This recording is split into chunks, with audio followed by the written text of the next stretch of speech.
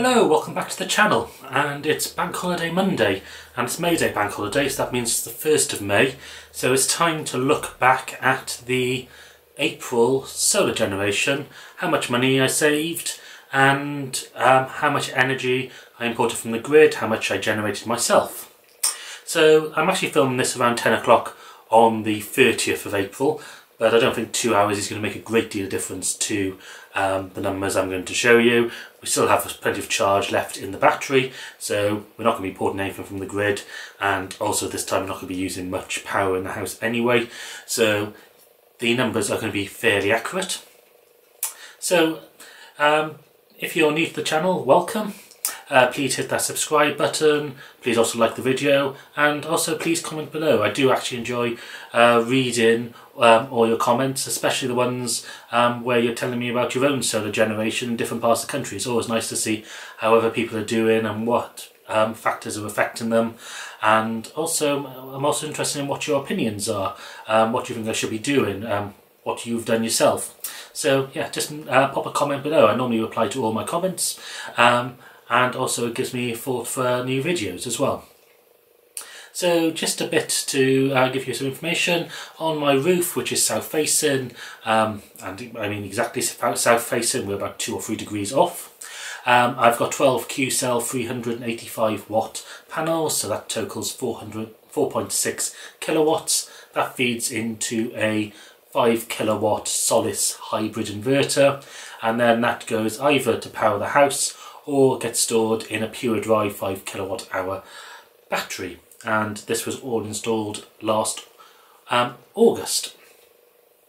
Um, so um, a little bit um, of uh, housekeeping first before I really get into the data.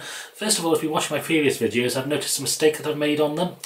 Um, that um, the way I've been calculating my input from the grid is looking at my smart meter each day and reading off how much um, I've paid and then converting that into um, my import um, rate, um, which I'm on a British gas um, tariff, which I fixed back a couple of years ago, and is fixed until March 31st, uh, 2024, so I've got another year left on it. And from that I'm paying just over 19p per kilowatt hour. And the standing charge, I thought it was 24p a kilowatt hour. It's actually 23. 345p. So I've updated my spreadsheet and um, to redo the calculations for this month. Um, and what it has meant is that the amount of input that I'm calculating using that method is now within a few hundredths of a kilowatt hour what the Solis app is predicting or saying that I'm importing. So that's good. So the way I'm generating my data for this video is from that import calculation. Um, I'm also using the Solis app and every day I just make a note of what the import was for the previous day, the export, the generation and all that sort of general information and then I do my percentage calculations from that. One thing I've had had a few comments saying that this, um, well first of all I had somebody saying it's well known the Solis app isn't accurate and um, I had somebody else commenting about it being 30% out. Um, that's not my experience. Um, first of all, as a scientist, when somebody says it's well known, I would normally ask for references and then trace back the source to see if it's actually a, a, um, a diverse source or just a single source. But let's get the science, um, or ignore the scientist um, in me. As I say, it's not my experience. I've checked my numbers against what's read on my export meter. I know roughly what I use each day, and the numbers do tally very, very well. Um, and somebody did comment about looking at the month report in the Solis app. So when you look down it, you can look at your day, daily usage and your monthly and that sort of thing. I have looked at my one and I'm within 1%, 1 or 2% each month. This month um, I'm within 1%. So the as you'll see, this month I generated um, 113 kilowatt hours um, from reading it from day to day and putting it into my spreadsheet the month report on the Solis app is saying 517 um, and that was similar figures to last month as well or similar differences um, so I'm putting that down to rounding errors which I'm going to talk about in another video that I will release on Friday so yeah that sounds like some other people will be having problems with their solar, uh, setup maybe the CT clamps are in the wrong place but for me the numbers seem to be fairly accurate.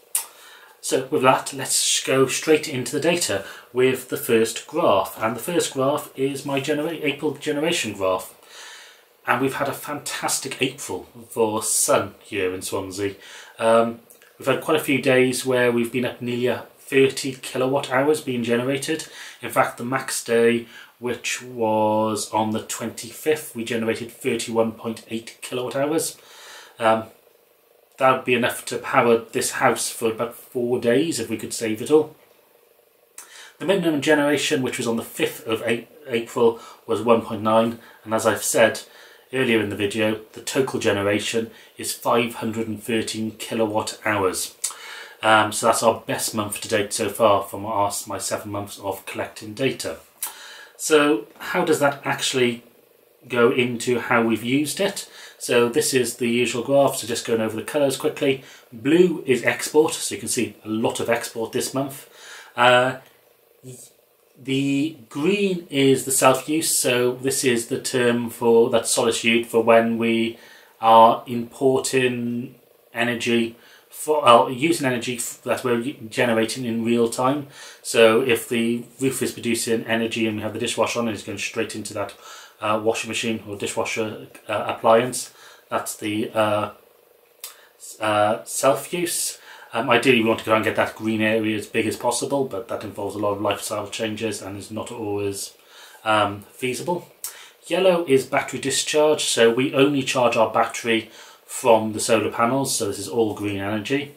And that's the discharge, you can see it's actually pretty stable from day to day. And the red is the input from the grid, and as you can see, there's been virtually no import um, this uh, month. It's been actually one or two pence on the smart meter, um, which doesn't really register on this, and that's just um, the inverter kicking in and stuff like that. So the only day where we really had any import was on the 6th, when it was actually fairly sunny. But because the day before we had so little generation, only that 1.9, um, we um, couldn't we didn't have enough of the battery then to see us through the night and that's where that import has come from. So in terms of actual usage, this is what this graph um, shows.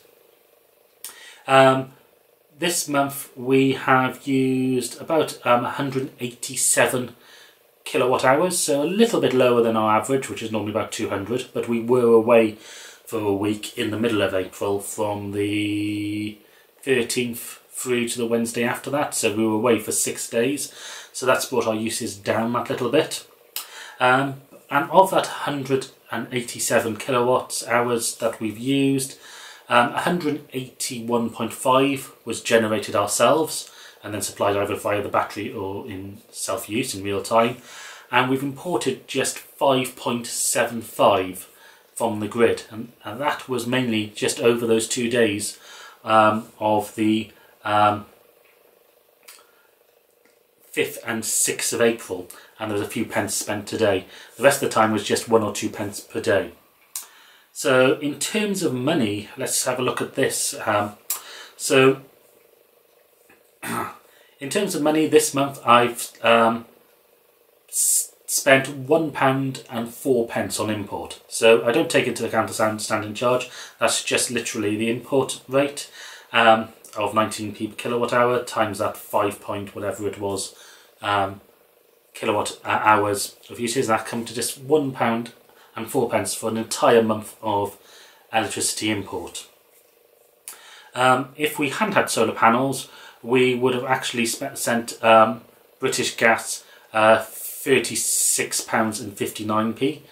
And so that means we have saved ourselves £35 and I'm on a seg tariff, which is with So Energy, which pays 5p per kilowatt hour of export. Yes, I know it's rubbish rate, but um, that's what we're getting paid. And that's totaled £17 and uh, 46 pence because we've exported 349 kilowatt hours. So nearly twice our actual monthly usage there. So it's been a very, very good month for solar. Um, if you've been watching my previous videos, at the end of each of these, I'm, I like to compare a DEC to a previous month from the previous year because in January I made a prediction that said that April was going to be similar to September, and that what made um, how I did my payback calculation. On that note, I've just passed £300 um, made back on my solar panels. so this is a mixture of savings from not paying money to British Gas and also on SEG. So in seven months, we've made £300 on a £1,800 investment. Obviously our electricity rates are quite low and over time we are hoping to move from gas heating to electricity. Our electricity rates will go up so that will accelerate over time. We're very pleased with that. If you're thinking about that in terms of percentage yield, it's over 5%. So that's good. Anyway, um, part of that um, prediction meant on the assumption that April was going to be similar to um, September. So in previous videos, if you want to go back and watch those, um, I've done March is similar to October, which turned out to be very wrong because March was terrible. Um, February was going to be similar to November, and December was similar to January, and those actually turned out to be quite true. But so let's see how this actually compares April to September. So we ended up with a bit, quite a bit more generation um, 513 kilowatt hours compared to 430 kilowatt hours in September. Our use, as you can see, very similar. 187 kilowatt hours in April, 191 kilowatt hours in September. So that was fairly close, and also if we weren't away, um, we would actually probably use a bit more electricity. Import, um, in terms of actual numbers, it's very close. 6 kilowatt hours this month, 13 kilowatt hours last month. This is rounded up, by the way. Um, but obviously that's 50%. Oh, um, we used twice as much, imported twice as much in September. So if you're turn, talking about in percentage terms, it's quite a bit different. Export, um, a lot more export this month, nearly 90 kilowatt hours more export this month compared to September. Um, therefore, the money on import was um, a lot uh, less this month, uh, one pound and four pence compared to two pounds and fifty pence. Money saved is actually very, very similar because we use the same amount of electricity. So that's 100, uh, sorry, that's 35 pounds and 55 pence this month compared to 34 pounds and 89p um, in September. SEG, this is very, very different.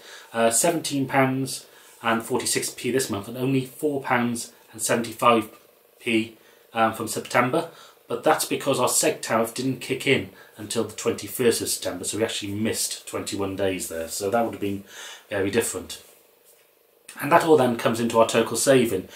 This month we uh, made money and we saved and then also made that money, so if you add those two together, we get £53 and two pence. This is the first month we made over £50 and our that was compared to September, which was um, 39p £39 and 64p. But again, that doesn't really give a true representation because we didn't count much of our um, actual uh, export to the grid.